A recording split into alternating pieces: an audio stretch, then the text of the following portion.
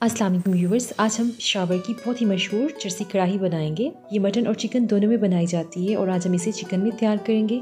इसकी ख़ास बात यह है कि इसमें बहुत ही कम इंग्रेडिएंट्स इस्तेमाल होते हैं, बहुत ही शॉर्ट रेसिपी है। तो चलिए इसको बनाना स्टार्ट करते हैं। यहाँ पर हमने लिया है आधा किलो चिकन। इस तरह से हमने छोटे साइज़ की बोटियाँ ली हैं। और यहाँ पर हमने लेनी है एक कढ़ाई और इसमें हम एक कप भर कर ऑयल का डालेंगे। इस कढ़ाई में ऑयल का इस्तेमाल ज़्यादा होता है और साथ ही हम इसमें चिकन डाल देंगे। और इसमें हम तकरीबन एक टीस्पून के करीब नमक डालेंगे और इसको फ्राई करेंगे।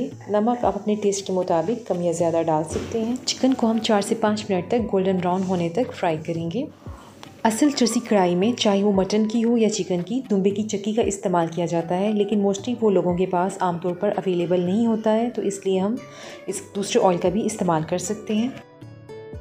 ये देखें, चार से पाँच मिनट में फ्राई करने के बाद चिकन बहुत अच्छे से गोल्डन ब्राउन होना शुरू हो गया है और अब हम इसके अंदर तकरीबन चार से पाँच मीडियम साइज़ के टमाटर डालेंगे और इनको हम हिलाएँगे और इनको पाँच मिनट के लिए कवर करके रखेंगे ताकि ये टमाटर फ्राई भी हो जाए और अंदर से गल भी जाएँ।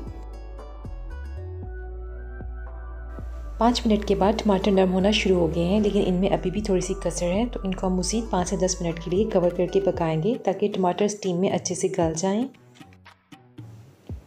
टमाटर और चिकन दोनों ही बहुत अच्छे से गल गए और हम टमाटरों का छिलके को इस तरह से रिमूव कर लेंगे, और इसमें मौजूद जो एक्स्ट्रा ऑयल है, इसको हम अलग बर्तन में निकाल लेंगे। और थोड़ा सा ऑयल हम कढ़ाई में रहने देंगे, जिसके अंदर हम कढ़ाई को पकाएँगे। अब हम इसकी ग्रेवी तैयार करेंगे। और इस तरह से चमचे की मदद से टमाटरों को हम मैश करेंगे।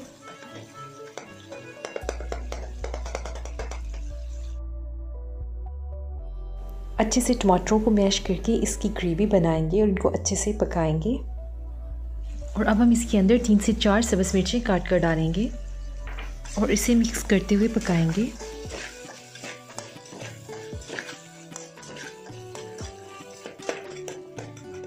इसको ऑयल अलग होने तक पकाएँगे और इस कढ़ाई में ग्रेवी बिल्कुल कम होती है। बहुत इजी और बहुत शॉर्ट सी रेसिपी है। नमक के अंदर कम इंग्रेडिएंट्स में ये तैयार की जाती है। कढ़ाई हमारी ऑलमोस्ट डन है और अब हम इसको सब्ज़ मिर्चों से गार्निश करेंगे और इसको एज इट इज़ सर्व करेंगे। आपको ये रेसिपी कैसी लगी मुझे कमेंट्स में ज़रूर बताइएगा और चैनल को एक बार सब्सक्राइब ज़रूर कर दीजिएगा। दुआ में याद रखिएगा। अल्लाह हाफ़